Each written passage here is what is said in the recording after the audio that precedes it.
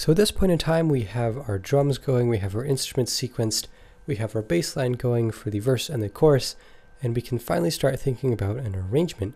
Um, so as always, this is going to be done using scenes, and I'll go ahead and delete my scenes that I have created just for uh, for working on this project and start actually creating the scenes that I want to arrange the final the final track. Um, so I'm going to start with my first scene here, and uh, this is just going to be an intro one. So we'll start with my main uh, bare bones pattern here.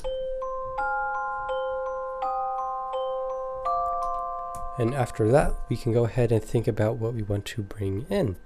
Um, so I'm going to go ahead and bring in, let's see, the additional strings. Yeah, that sounds good. And the drums, let's see, do I want to bring those in yet?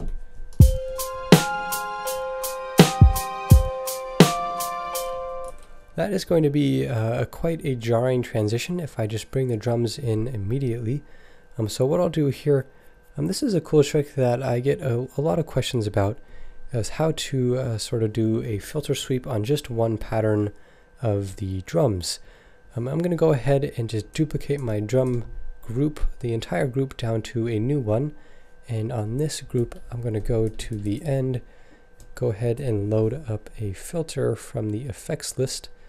Let's see, where did I go by it? Um, where is the filter? There it is, filter. And instead of having um, this one play, I'm going to go ahead and remove this pattern and instead play a pattern here. Let's get the filter as I want it.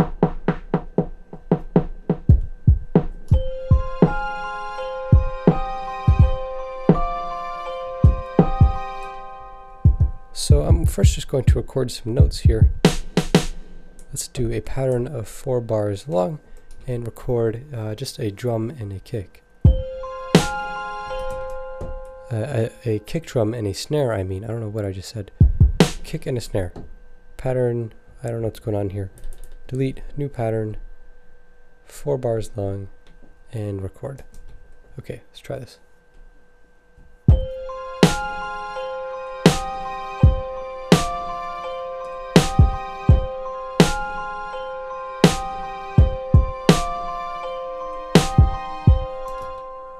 Now that I have this recorded, go ahead and do a filter sweep.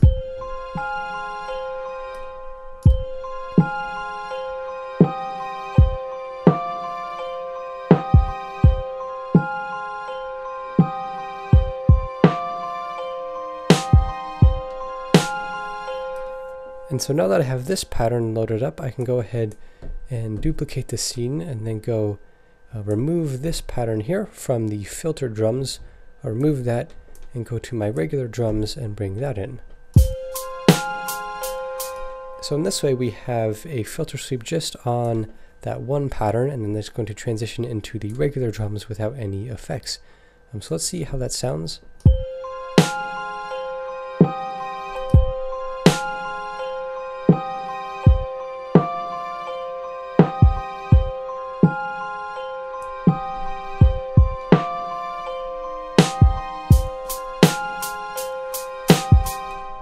There we go, we have a nice little introduction for the drums. And, and this is something that you should be able to work with as you're arranging. Um, be flexible and ready to create more patterns and edit your existing ones to make things flow along as the as the track progresses. Um, so I'm also going to bring in the bass with this.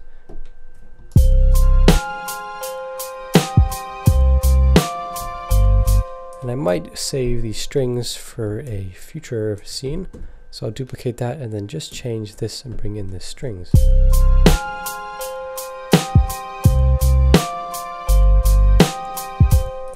And after we have this going for a little bit, we can go ahead and create a chorus scene. Um, so I'll go ahead and choose, uh, let's do the one with everything playing.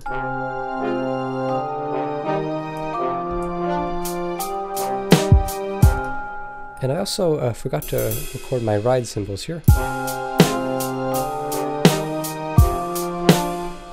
So I'll go ahead and do fixed velocity quite quiet down here.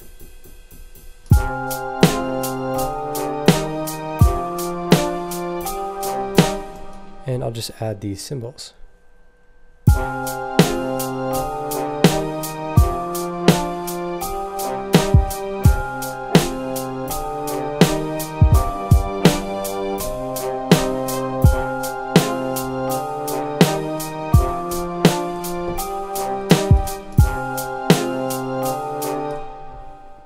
And I do that quite a bit. I add some ride cymbals to the chorus, and to me that just sort of uh, is a way to distinguish the verse from the chorus um, using just the drums. Um, it's not very loud, it's pretty much in the background. Um, it can also help put it further in the background by going, let's see, let's go into the channel and uh, send this to group. Uh, there we go.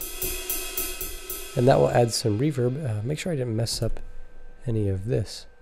Okay, um, so anyways, I'm, I'm just sounding, I'm sending the sound aux output to my reverb, and that's just going to add some reverb over here uh, to the ride cymbal. Bring the volume down.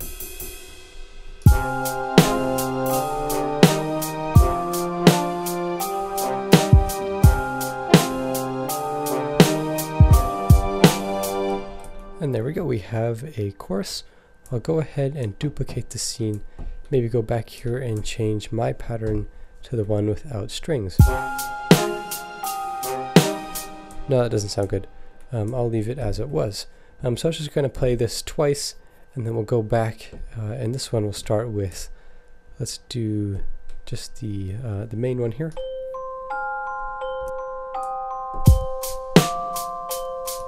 And it's also fun to, let's duplicate this pattern and then get rid of everything except the kick and the snare.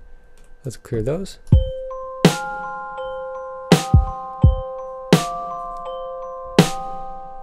Uh, make sure I went to my bass pattern here. Yeah, so these are the two chorus scenes. Forgot to add in my bass.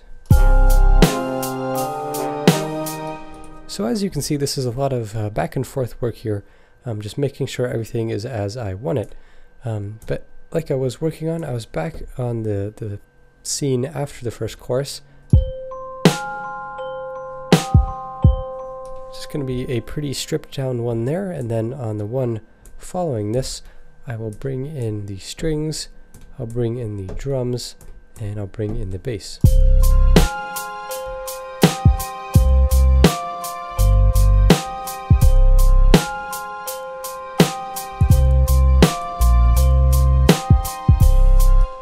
Then duplicate that to have it play again and then on this one let's do the chorus the chorus and the chorus bass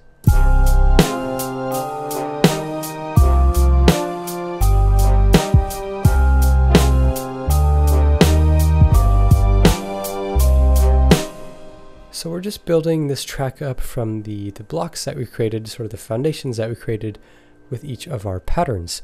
Um, make sure to keep transitions in mind.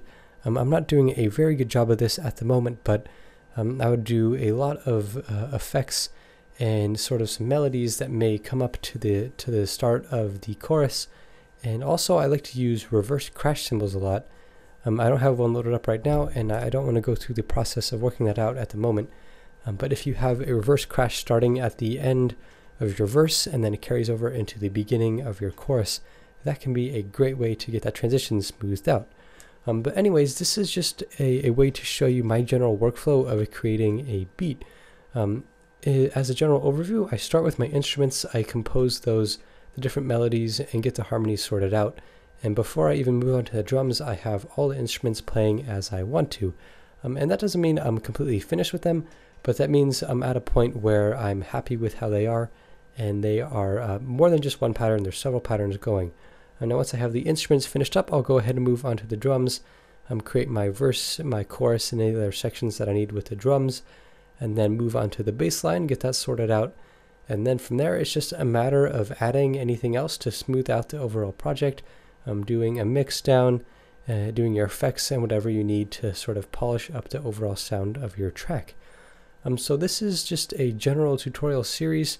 Um, if you have any specific questions, feel free to leave them below in any of the videos, and I will get back to you as soon as possible. Um, hopefully you've enjoyed these videos. Let me know if you have any feedback for future ideas, And as always, thanks for watching.